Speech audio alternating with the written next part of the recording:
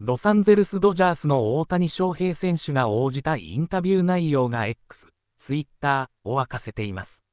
動画、大谷選手の完璧な受け答え。シンプルな回答が刺さる。7月23日、現地時間のドジャース対サンフランシスコジャイアンツの試合は、ウィメンズナイト、ウーマンズナイトと題し、女性グループのライブやダンスなど、女性にスポットを当てたイベントが実施されました。ドジャース公式 X はこれにちなみ、選手たちに好きな女性アスリートを聞くインタビューの様子を投稿しています。多くの選手がテニスのセリーナ・ウィリアムズ選手を挙げる中、大谷選手はマイワイフ、妻です、と即答。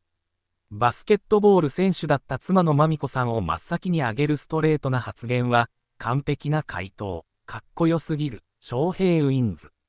と大きな反響を呼びました。なお、ウーマンズナイトでは、選手の入場テーマをパートナーが選曲する企画も実施。マミコさんのチョイスは、テレビアニメ版、ジョジョの奇妙な冒険、第5部の劇版、アイ・エルベント・ドロでした。